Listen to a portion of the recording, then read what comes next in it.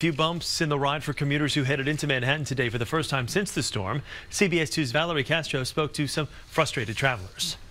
Despite the Ronkonkoma station message board declaring trains into the city on time, reports of 10 to 15 minute delays caused a minor headache for commuters, but they were lucky compared to those out east. Service between Ronkonkoma and Greenport will remain suspended as we continue efforts to clear snow from the tracks. Snow drifts forced the Long Island Railroad service to shut down along eastern portions of the Montauk branch, including this station in Medford. Commuters at the Ronkonkoma station say they were delayed from the get-go. My car wouldn't start, so unfortunately I had to wait for it to get towed. Augie Sula, just one of many headed into the city late. I think it's horrible.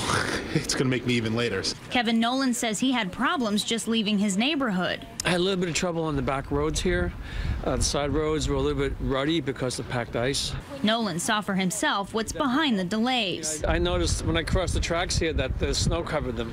And it's like, uh, oh, that's out. At Penn Station, commuters say they were pleasantly surprised. It seems like they've done a pretty good job. I haven't had any delays or anything like that. They did pretty well because I was out here pretty early, so and they were moving pretty fast. But leaving the city on Amtrak, an issue for Monica Hines trying to get to Baltimore. Not good. They, they have delays right now. So, and the cancellations, so I'm trying to get there. Back in Suffolk County, there's more work to be done.